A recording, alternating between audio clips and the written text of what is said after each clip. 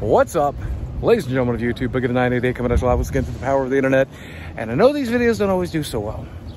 And I know you're not crazy about the travel videos. But I got something for you today that I think you're going to want to see. It is a Tussauds Wax Museum. And I know a lot of people are bored with wax museums. You're not going to be bored with this one. This is the worst Tussauds Wax Museum in Hot Springs, Arkansas. And not only is it the worst, it's considered by many to be the worst wax museum in the world. And if that's not enough to get you excited, wait till you see the torture exhibit. Let's go. Here we have, I, I, oh, Steve McQueen. I was at a loss, but apparently that is Steve McQueen for those of you who have any clue who that is. Couple presidents here, including Barack Obama himself, and that is Jimmy Carter, who was president when I was born. Still doing cool stuff to this day, actually. Jimmy Carter's a really good guy. If you look him up, Habitat for Humanity, you can say whatever you want about any of the other presidents, but that guy, kind of golden. Pope John Paul II is here to welcome you to this display, including the man himself. No jokes, Nothing really weird to say about it. Just seeing that in real life is definitely, definitely hits different. Allow me to invite you to dinner. A very epic dinner, or I would call it a supper. This is a Last Supper tableau this and it's almost as if the man knows what's happening. he knows. He knows what happens tomorrow. In, in this little enclosure, a little bit of glass to protect it, is these creepy figures, and she looks like she's just seen a ghost. Possibly Al Capone's ghost, since we are in Hot Springs, Arkansas. And as far as wax figures go, a lot of the museums have more contemporary stars. This place, definitely keeping it old school. Jesse James, Frank James, quite literally in the middle of a bank heist. Join us now as we enter my favorite part, the Chamber of Horrors. Donald Trump, I mean Alfred Hitchcock welcomes you. Oh my goodness. I don't think that's necessarily from anything. It's just terrifying. Oh. Oh my gosh. Is that the Phantom of the Opera? I've never seen him displayed like that in any of these wax museums and honestly, I'm there for it. That's excellent. Well, that is one way to sculpt your wax. I uh, would not recommend this place to kids, I think, officially. Um, it's mostly old stars and whatever the hell's going on there. Went from Jesus being tortured to just regular people like you and me. Some of these figures, I feel like you would see something like this, not normally at a wax museum or a haunted house. I feel like you would even see that at one of the horror conventions you go to. I feel like that's a prop you would get there. Except a little more convincing here with the lighting. But I, I kind of love it. I mean, I know I went to this place expecting it to be bad, but that is really creepy. I am straight up in love with this museum. I was not expecting this. Pure excellence. Wow, I was so wrong. Oh, Mary Elizabeth, I don't want to go to a play. I need to go to a play like I need another hole in my head. Here we have George Washington with a picture. So you know what he actually looks like. And uh, way you can properly judge this uh, sculpture. Tell me how accurate you think that is. Also, fun fact, there's Napoleon, and here he's uh, depicted as fairly short. But in reality, he wasn't much shorter than George himself. Fun, fun fact, how history chooses to remember us.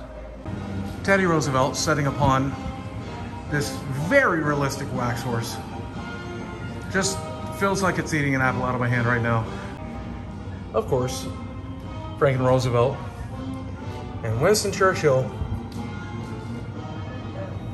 would you believe in the back, Joseph Stalin clocking in at maybe four foot eight? And uh, Charles de Gaulle.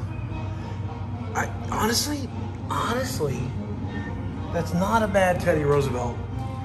Not so sure that Stalin was built like a child, though. As we are in Arkansas, one of the very few places that still has some love for the Clintons. But as you can see, not much love because that Hillary is definitely a wax figure. Bill's looking chunky though. Not so much in the photo, but hello, Mr. Clinton, sir. Please do not call the state police on me. This wax figure is surprisingly accurate. It looks very good. They got a lot of things right. The hat, the skin tone, and of course the tiny, tiny hands. The royal family, Pat Nixon, Richard Nixon, over here with Prince Charles, Queen Elizabeth, Princess Diana in the back, and Prince Philip, of course, everybody's favorite prince. And if you're looking for that Goonies style rich stuff, here's some props, probably not authentic or, you know, worth that much, but replicas of some of the crown jewels themselves. Marie Antoinette with her head still intact, allowing them to eat cake. And of course, Queen Elizabeth I looking present. I know she's dead, but you don't have to depict her as that in a wax museum. Dr. Martin Luther King, and I'm just gonna be honest, I have never seen a worse depiction of MLK, including the roads that are named after him. They look more, more like MLK does than that. Feel like they repurposed like just a completely different wax figure. Wow. Orville Wright, just kind of propped up against that tree, and the famous Wilbur Wright pose that we all know him for. Lindbergh, of course, climbing a ladder, as we all like to remember him, and that is one very depressed Armstrong. Love me tender, love me alone. Take my Now entered the section of the museum called The World of Make-Believe, starting with Rumpelstiltskin, say his name and keep your baby. Watch him spin that hair into gold. That is absolutely terrifying. And I am not sure she's sleeping. I, I think Rumpelstiltskin is going to jail. Tom Sawyer and Huckleberry Finn have never looked less happy to be alive. And the author that brought them to life, Mark Twain, here acting like the god that he is, paint that fence, Huckleberry Finn, paint that fence. Tom, that was your job. this room is worth the price of entry. I am just blown away by these props. But the wax figures get real good from here on out. Oh my goodness. Geppetto's Toy Shop done in a toyish style. And that is one horrific Pinocchio. And if you press the button, he's coming to life. Look at his arms move. He wants to be a real boy so bad, but don't you let him. Don't you, don't you let that come to life. I am completely speechless at these king and queen figures from Alice in Wonderland. I, the proportions on these faces, I just, I, and why is there a trash can? And what is inside the trash can? Ah, I think that's the Cheshire Cat. Alice in Wonderland, standing at about two feet tall, I think, is that the Cheshire Cat? The White Rabbit, obviously not white in this depiction. And the Mad Hatter looking, well, mad. You know why they call them Mad Hatters? Because Hatters used to go mad because they were forced to work with mercury in the making of hats. And mercury literally poisons your brain. And that's why he's mad. Not just because he's in this particular museum. It feels just like you're at Disneyland on the Seven Dwarfs ride, except you're not.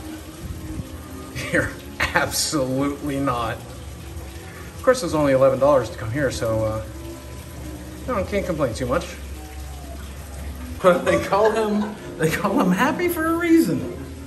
Because he is very happy to discover this pile of minerals.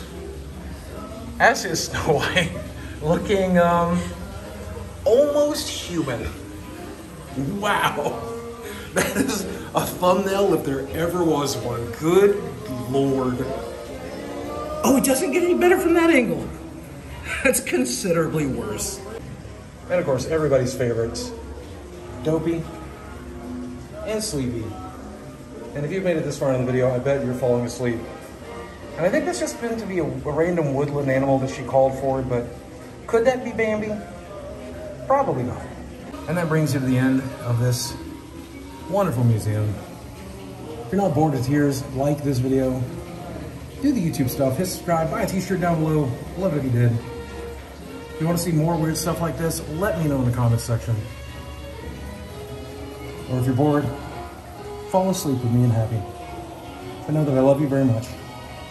Thanks for watching, and I'll speak with you again. You dopey son of a bitch.